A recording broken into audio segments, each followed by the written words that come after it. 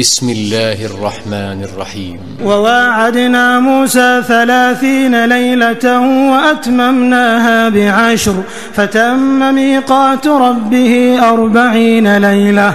وقال موسى لأخيه هارون اخلفني في قومي وأصلح ولا تتبع سبيل المفسدين. ولما جاء موسى لميقاتنا وكلمه ربه قال رب أرني أنظر إليك قال لن تراني ولكن انظر إلى الجبل فإن استقر مكانه فسوف تراني فلما تجلى ربه للجبل جعله دكا وخر موسى صعيقا فلما أفاق قال سبحانك تبت إليك وأنا أول المؤمنين. قال يا موسى إني اصطفيتك على الناس برسالاتي وبكلامي فخذ ما آتيتك وكن من الشاكرين. وكتبنا له في الألواح من كل شيء موعظة وتفصيلا لكل شيء. فخذها بقوة وأمر قومك يأخذوا بأحسنها. سأريكم دار الفاسقين. سأصرف عن آياتي الذين يتكبرون في الأرض بغير الحق وإن يروا كل آية لا يؤمنوا بها. وإن يروا سبيل الرشد لا يتخذوه سبيلا.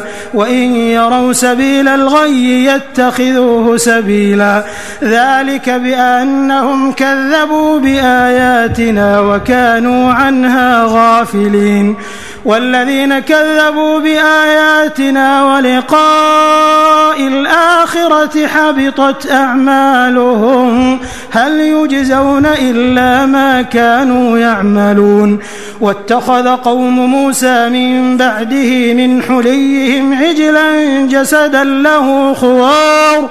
ألم يروا أنه لا يكلمهم ولا يهديهم سبيلا اتخذوه وكانوا ظالمين ولما سقط في أيديهم ورأوا أنهم قد ضلوا قالوا لئن لم يرحمنا قالوا لئن لم يرحمنا ربنا ويغفر لنا لنكونن من الخاسرين ولما رجع موسى إلى قومه غضبان أسفا قال بئس ما خلفتموني من بعدي أعجلتم أمر ربكم وألقى الألواح وأخذ برأس أخيه يجره إليه قال ابن أم إن القوم استضعفوني وكادوا يقتلونني فلا تشمت بي الأعداء ولا تجعلني مع القوم الظالمين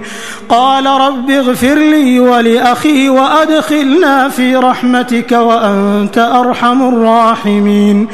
إن الذين اتخذوا العجل سينالهم غضب من ربهم وذلة في الحياة الدنيا.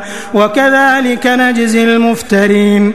والذين عملوا السيئات ثم تابوا من بعدها وآمنوا إن ربك من بعدها لغفور رحيم ولما سكت عن موسى الغضب أخذ الألواح أخذ الألواح وفي نسختها هدى ورحمة للذين هم لربهم يرهبون.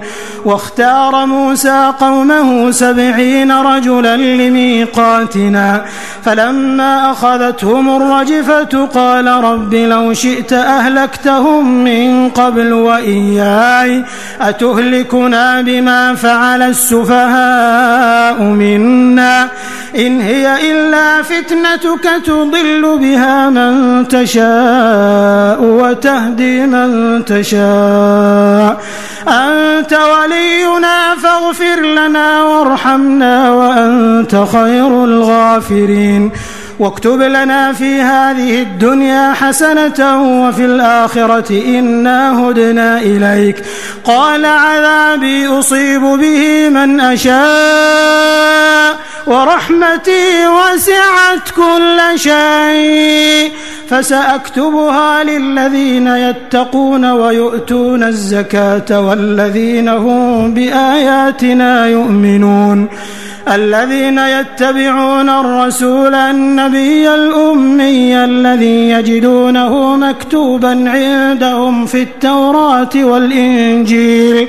يأمرهم بالمعروف وينهاهم عن المنكر.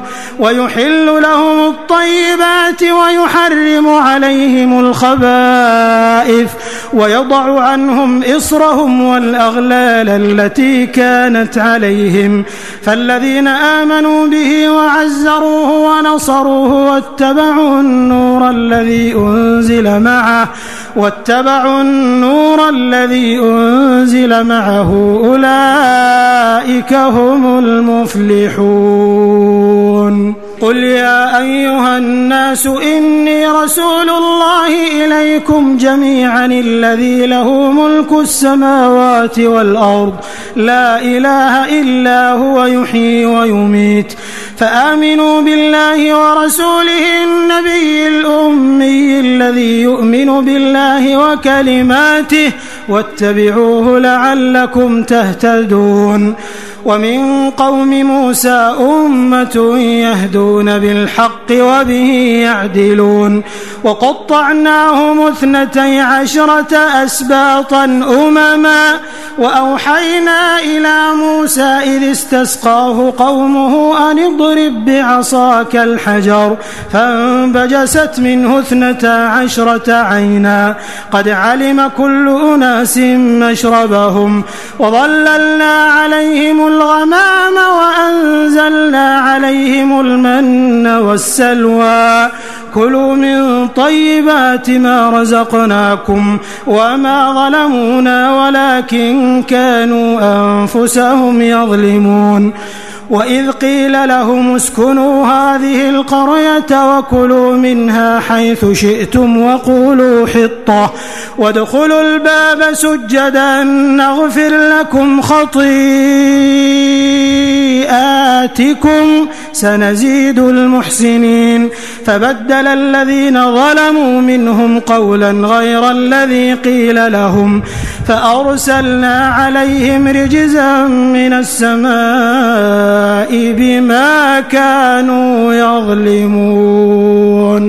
واسألهم عن القرية التي كانت حاضرة البحر إذ يعدون في السبت إذ تأتيهم حيتانهم يوم سبتهم شرعا ويوم لا يسبتون لا تأتيهم. كذلك نبلوهم بما كانوا يفسقون. وإذ قالت أمة منهم لم تعظون قوما الله مهلكهم أو معذبهم عذابا شديدا؟ قالوا معذرة إلى ربكم ولعلهم يتقون.